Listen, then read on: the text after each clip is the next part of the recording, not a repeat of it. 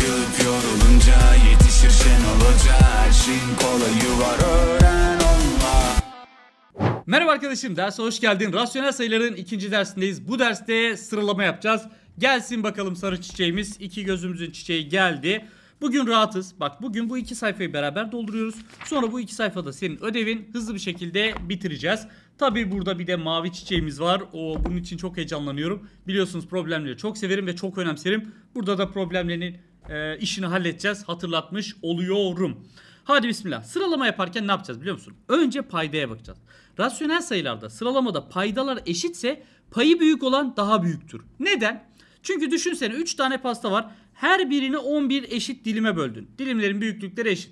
Burada 9 parça yedin. Burada 6, burada 4 parça yedin. Yani 4 dilim yedin. E 9 dilim yediğinde daha çok yemiş olursun. Onun daha büyük olması lazım. O zaman diyeceğiz ki ha benim paydalarım eşitse bu dilimlerimin eşit büyüklükte olduğunu gösterir. Payı büyük olan daha büyük olur. Paydalar eşit olduğunda. Güzel. Buna tik atıyorum. Mantığını da anladığımızı düşünüyorum. Gel buraya. Yo paylar eşitse ne olacak? Bak paylar 8 8. O zaman paydası küçük olan daha büyüktür. Niye hocam? Çünkü bak bu kesir çizgisi bölme demektir. Bir 8'i 5'e böl. Bildiğin düz bölme bu. 8'i 5'e böldün. İçinde bir kere bile yok. Bir de 8'i 3'e böl. Aa 8'i 3'e böldüğünde 2 defa var. 2 kere 3 6 kalan verir hatta bölme devam eder. Bak burada en az 2 var içinde zaten. Ve daha da fazlası var hatta. O zaman diyorum ki payda küçük olursa bölmenin sonucu daha büyük olur. Daha büyük bir sonuç ortaya çıkar. He o yüzden paylar eşit olduğunda payda küçük, paydası küçük olan daha büyük olacak. Bunu yakalayacağız. Okey süper. Sebebi ne? Bu bölmeden daha büyük bir sonuç gelir. Bu bölmeden daha küçük, bu bölmeden daha da küçük bir sonuç gelir. Bunları pratikleştireceğiz kafamızda. Diyeceğiz ki paydalar eşitse payı büyük olan daha büyüktür. Güzel. Pay eşitse tam tersi diyeceksin. Paylar eşitse paydası küçük olan daha büyüktür. Bunu ritmik bir şekilde ezberleyebilirsin. Mantığını da kafanda biraz önce kurduğum gibi oturtabilirsin. Gelsin bakalım. Şimdi burası önemli. Burada bir ayrıntı var. Yani burada dikkat etmemiz gereken bir şey var. Diyor ki pay ve paydası arasındaki fark eşit olan pozitif kesirlerin pay ve paydalarındaki sayılar büyüdükçe basit kesirin değeri artar, bileşik kesirin değeri azalır. Burada ne demek istiyor biliyor musun? Şu. Bak. Ne pay eşit ne payda eşit. Diyelim pay ve paydayı da eşitlemek mümkün değil. Sayılar çok büyük, çok saçma. Bakacaksın. Ulan pay ile payda arasındaki fark 5. 2 ile 7 arasında. Burada da fark 5. 11 ile 16 arasındaki fark 5. Farklar hep eşit mi? Eşit. Peki bu basit kesir mi bileşik kesir mi? Basit. Bakıyorum 2 küçük 7 büyük. 4 küçük 9 büyük. Tamam. Basit kesir ne demek? 0 ile 1 arasında olur demek. Ya da 0 ile aslında eksi 1 ile 1 arasında olur. Çünkü 0 ile eksi 1 arasındakiler de basit kesirdir. Yani bir bütünden küçüktür. Onu anlatmak istiyorum. Tamam bir bütünden küçüksem ben ve fark eşitse ayrıntılı olan büyük sayılar kullanılan daha büyüktür. Niye? Bak sebebi şu. Bu 16'da 11'i almış. Ne kadarı bırakmış? 16'da 5'i almamış. Bu 9'da 4'ü almış. Ne kadarını almamış? 9'da 5'i almamış. Bunlar almadıkları. Bu 7'de ikisini aldığına göre 7'de 5'i almamış. Şimdi almadığı parçalara bak. Payları eşit gördün mü? E payı eşit olduğunda paydası büyük olan daha küçüktür. Payı eşit olduğunda paydası küçük olan daha büyüktür değil mi? Bak paydası küçük bu daha büyük. Demek ki bunun bıraktığı parça büyük. Bak dikkat et. Dışarı attığı büyükse kalan küçüktür. Bunun bıraktığı parça daha küçük. Yani şunları küçükten büyüğe sırala dersem 7 bölü 5 daha büyüktür. 5 bölü 9 daha büyüktür. En küçüğü 5 bölü 15'tir. Niye? Paylar eşit olduğunda paydası küçük olan daha büyüktür. Heh.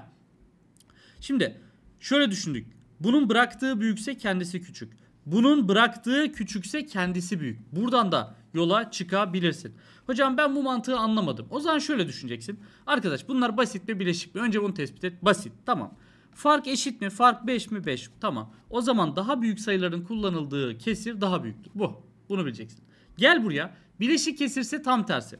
Bakıyorum 21 bölü 17. 17 bölü 13. 15 bölü 15. 15 bölü 11. Bu bölme işlemlerinin hepsinin sonucu birden büyüktür.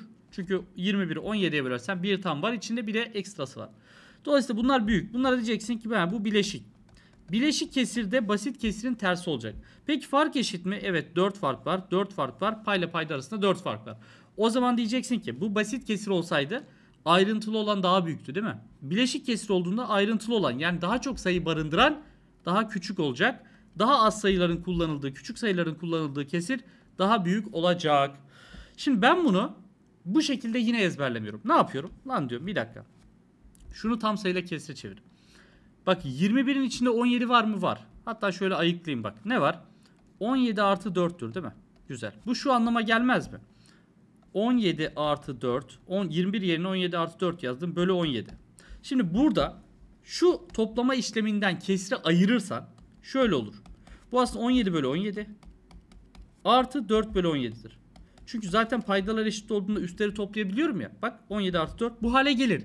Ben işlemleri geri aldım. He, dedim ki geri alırsam bu 17 bölü 17 artı 4 bölü 17'dir. E 17 bölü 17 1'dir zaten. 1 artı 4 bölü 17 oldu mu? Oldu. Güzel. Bak şimdi. Diğerlerini hızlı yapacağım. Benim elimde 1 artı 4 bölü 17 var. Diyorum ki bu. Şurayı sileyim. Bak bu. 1 artı 4 bölü 17'dir. Buna gel. Hızlı bir şekilde. 7 bölü 17. Hocam 17 13 artı 4'tür. 13 artı 4'tür. Bak şöyle. 13 artı 4 bölü 13. Tamam buradan 1 tam gelecek. 4 bölü 13 kalacak. 1 tam 4 bölü 13.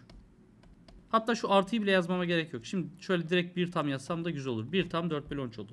Buna gelelim. 15 nedir? Hocam 15 11'e göre 11 artı 4'tür. Demek ki burada 1 tam gelecek. 4 bölü 11.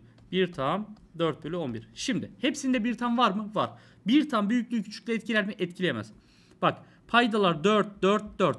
Paydalar şey paylar pardon. Paylar 4 4 4. Paylar eşit olduğunda paydası küçük olan daha büyüktür. Bak bu bundan büyük olacak. Bu da bundan büyük olacak. Payda küçük büyük. Payda küçük büyük. Payda büyük. En küçük de bu. He o zaman ben bunu hocam ezberlemek zorunda değilim. Tam sayıyla kesre çeviririm. Payları eşit çıkar. Paydası küçük olan daha büyük olur derim. Böyle sıralarım. Aynen. Yani sadece aslında şunları ezberebilmen yeterli. Paydalar eşit olduğunda payı büyük olan daha büyüktür. Burada bir doğru orantı var. Paylar eşit olduğunda paydası küçük olan daha büyüktür. Burada da ters orantı yani ters mantık var. Böyle düşünebilirsin. Sonra bunları da benim yaptığım gibi yorumlayabilirsin. Gel.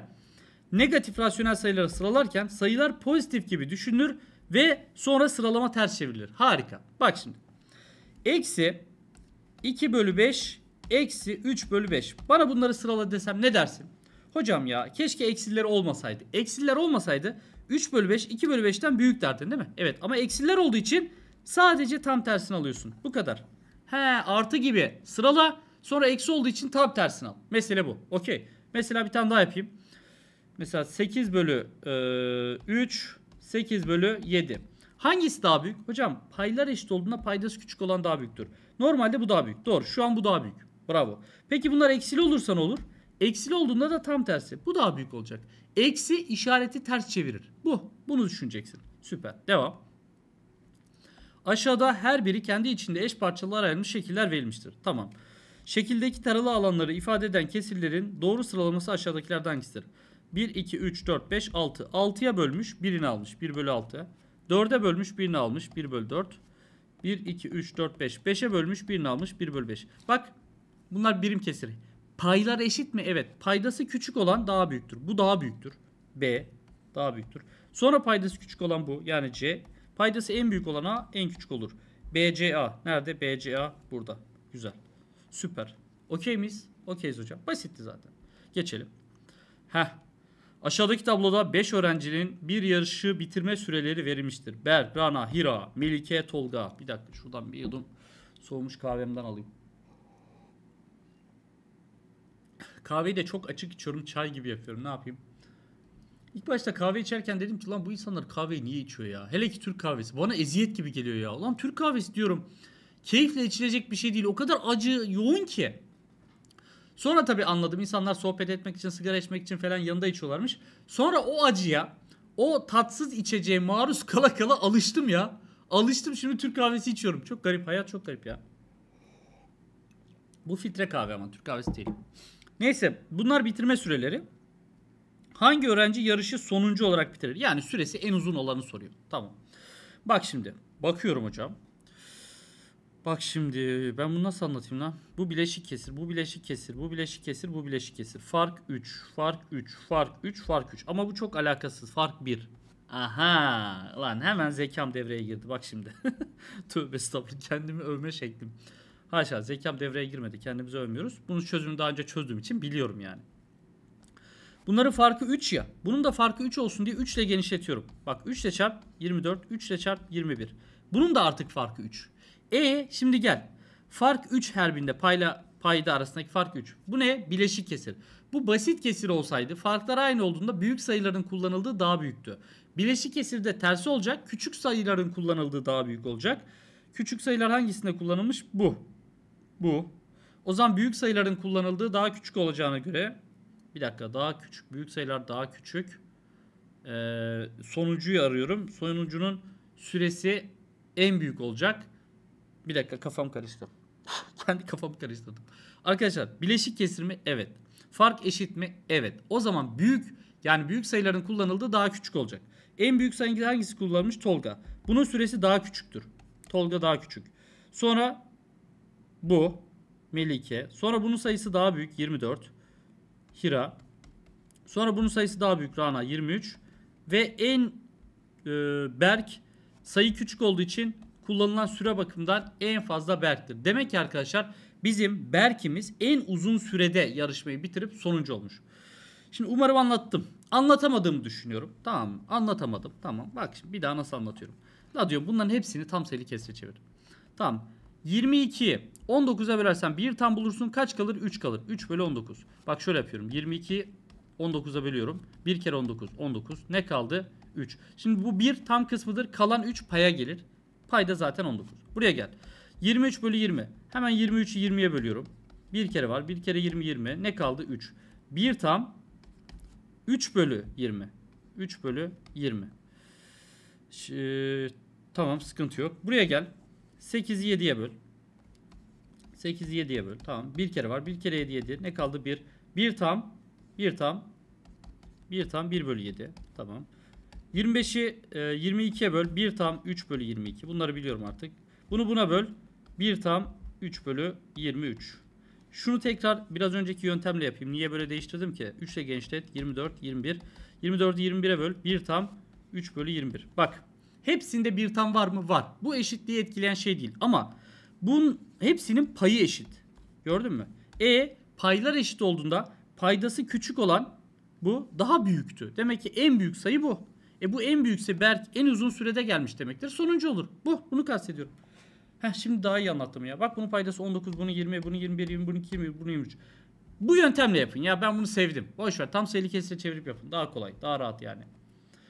Ve geldik buraya. Hızlı bir şekilde sıralama yapacağız. Bak şimdi.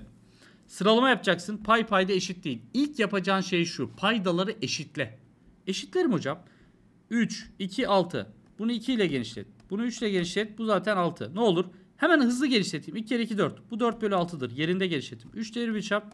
3 bölü 6 yapar. Tamam. Bak yerinde genişlettim hemen. E paydalar 6 oldu mu oldu. Payı büyük olan daha büyüktür. C daha büyüktür. Sonra A çünkü onun payı 4. Sonra B çünkü payı 3. Bitti. B yazacağımı 3 yazdım. Bu. Buraya gel. Hocam paydaları eşitleyin. Payda 1000, payda 100, payda 10. Şimdi bunu 10 ile çarp. Paydaya bir sıfır atmak demektir. Bunu 100 ile çarp. 2 sıfır atmak demektir. Hepsinin paydası artık 1000 mi? 1000. Payı büyük olan daha büyüktür. Payı hangisinde büyük? Bunda. Bu 1100 yaptı. A daha büyüktür. Sonra bu 1010 yaptı. Bu 1001'dir. B daha büyüktür. C en küçüktür. Mükemmel. Buraya gel. Oo bak şimdi. Bak şimdi. İnanır oldum aşka. Öyle bir şarkı vardı. Bunların paydalarını eşitlemek mümkün değil. Saçma. Payını eşitlerim o zaman. Yani hep paydamı eşitleyeceğim. Payını eşitlerim. Payı 400'e eşitlemek için bunu 10 ile çarp. 400. 1770 oldu. Bunu 100 ile çarp. Bu da 1700 oldu. Gördün mü? Paydalar eşitlerim. Bir de önünde eksi var. Şu an ilk başta eksiği görmüyorum. Yok gibi davran. Pozitif gibi sırala. Eksi olduğu için tam tersini al. Bak. Eksiği görme. Hepsinin payı eşit mi? 400 400. Paylar eşit olduğunda ters davranıyorduk. Paydası küçük olan daha büyüktür. Paylar eşit olduğuna göre paydası en küçük olan bu 1700. Bu 1770, bu 1777. Paylar eşit olduğunda paydası küçük olan daha büyüktür. Bu daha büyük. Bak x daha büyük. Sonra y'den paydası en büyük olan en küçük olur. z'den. Bu sıralama şu an sonuç değil. Bu pozitife göre. Ama bizim sonuçlarımız negatif. O zaman doğru sıralama şu. Bu işlemin tam tersini alıyorum. Z büyük olacak y'den. O da büyük olacak x'ten. Yani z, y, x sıralaması. Hocam ya bu ok bu tarafa ya da o tarafa bakınca benim kafam karışıyor diyorsan sana şunu söyleyeyim. Bak Z'nin büyük olduğunu şundan anlarım. Okun geniş tarafı büyüğü, sivri tarafı küçük göster küçüğü gösterir. İstersem şöyle yazardım. Z'ye x'i böyle seçerdim. Z büyük olduğu için oku böyle koyardım. Büyük tarafta e, geniş tarafta büyük sayı, sivri tarafta küçük sayı olur. Yani ok şöyle büyükten küçüğe yönelir. Ha, bu ve bu aynı gösterimdir. Hadi ben böyle alıştığımız şekilde göstereyim. Doğru sonuç budur arkadaşlar. Bunu geçici olarak yaptım. Bu doğru değil. Şöyle üstünü çizeyim. Bu doğru değil. Bu pozitife göre sıralandı. Sonra tersini alarak negatife göre sıralamış oldum.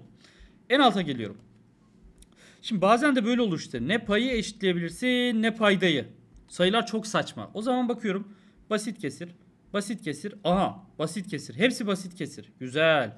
Aradaki fark kaç? Payla payda arasındaki 2. Payla parası, payda fark 2. Fark 2. Farklar da eşit. Mükemmel. O zaman şunu biliyorum. Basit kesirlerde payla payda arasındaki fark eşitse büyük sayının kullanıldığı daha büyüktür. M büyük olur. L'den. O da büyük olur. K'dan. Bu da bunun cevabı. Süper. Güzel ve hızlı pratik sıralamalar yaptık. Gelsin sıradaki. O bomba. Hemen bombamı çağırıyorum. Gel bakalım.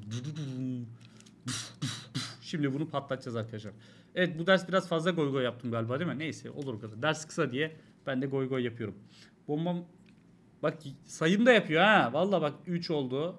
4 5 Geri sayım da yapıyor ama geri sayımı daha bulamadım arkadaşlar. Benim bomba ters. ileri sayıyor. Neyse olur öyle. Şu kenara koyayım da patlamasın. Şimdi çıkmış soru. 2022 TYT'de ÖSYM sormuş. Hasan, Hasan öğretmen rasyonel sayılarda karşılaştırma konusunu anlatırken bir sayı belirlemiş ve tahtaya bu sayıyla ilgili aşağıdaki ifadeler yazmış. Bir sayı belirlemiş. Demiş ki bu sayı 1 bölü 2'den büyüktür. 1 bölü 3'ten büyüktür. 1 bölü 4'ten büyüktür. Aynı sayıdan bahsediyor. Sonra öğrencilerine bu ifadelerden ikisinin doğru birinin yanlış olduğunu söylemiş. Aa. Sonra demiş ki kankiler demiş biri yanlış bunun. İkisi doğru. Buna göre Hasan öğretmenin belirlediği sayı aşağıdakilerden hangisi olabilir? Bak şimdi. Sayı doğrusunu çizersen her şeyi görselleştir ki beynin daha kolay algılasın. Bak bu sıfır olsun. 1 bölü 2, 1 bölü 3, 1 bölü 4. Hangisi daha büyük? Hocam payda küçükse daha büyüktür. 1 bölü 2 daha büyüktür. 1 bölü 2 burada. 1 bölü 3 daha küçük. 1 bölü 4 en küçük. Zaten bu yarım demek bu çeyrek demek. 1 bölü 3 de burada olsun. 1 bölü 4 daha da küçüktür. Sıfıra daha da yakın. Güzel. 1 de şurada bir yerde olsun. 1'in nerede olduğu önemli değil. Şimdi adam adam demeyelim. Sevgili öğretmenimiz bir sayı belirlemiş. Ve bu sayının yeri 1 bölü 2'den büyük, 1 bölü 3'ten büyük, 1 bölü 4'ten büyük ifadelerinden ikisini doğru yapıyor, birini yanlış yapıyor. Şimdi öğretmenimiz sayıyı şurada belirlemiş olsa, sayı 0 ile 1 bölü 4 arasında olsa, bu sayı 1 bölü 4 bunlardan büyük demişti ya, 3'ü de yanlış olur. Sayıyı burada seçersen şu ifadelerden 3'ü de yanlış olur. Çünkü bu sayı 3'ünden de küçük olur. Tamam bu ifade yanlış olur. Demek ki sayı buradan seçilmedi. Sayıyı buradan seçse 1 bölü 4 ile 1 bölü 3 arasında seçse o zaman 1 bölü 4'ten büyüktür ifadesi doğru ama 1 bölü 3'ten ve 1 bölü 2'den büyüktür ifadesi yanlış olur. Çünkü sayı diğer ikisinden küçük oluyor burada seçtiğin herhangi bir sayı. Tamam demek ki sayıyı buradan da seçmemiş. Sayıyı buradan seçmiş olabilir mi? Bakalım. 1 bölü 3 ile 1 bölü 2 arasında seçsin. Sayı 1 bölü 2'den büyüktür ifadesi yanlış olur. Ama 1 bölü 3'ten büyüktür ifadesi doğru olur. 1 bölü 4'ten büyüktür ifadesi de doğru olur. Aha uydu. İkisi için doğru biri için yanlış oldu. Mesela buradan seçse 3'ünden de büyük olur. Ama bu sefer 3'ü de doğru olur. 3'ü doğru olmasın diyor. İkisi doğru biri yanlış olsun diyor gibi. Tamam buldum. Sayı bu aralıkta arkadaşlar. Benim sayım ilk sayım 1 bölü 3'ten büyük 1 bölü 2'den de küçük. Peki bu sayı hangisi olabilir? Bak şıklara bakıyorum 24'e genişletmiş. Hemen ben de 24'e genişletiyorum. Diyorum ki ulan ben de şöyle bir şey yapayım. 24'e genişletmek için bunu 8 ile genişletiyorum. 8 kere 1 8, 8 kere 3 24. Tamam. Bunu da 12 ile genişletiyorum. 12 ile 1 12, 12 ile 2 24 yaptı. Demek ki benim ilk sayım 8 bölü 24 ile 12 bölü 24 arasında. Ne olabilir? Aha burada 11 bölü 24. Bu aralığa sığan sayı budur. Bu dışarıda kalır. Bunlar da dışarıda kalır. Bu büyük olur. Bunlar da küçük oluyor. Bu kadar. Bu kadar ya. Hepsi bu kadar. ÖSYM bizden bunu istiyor. Bak.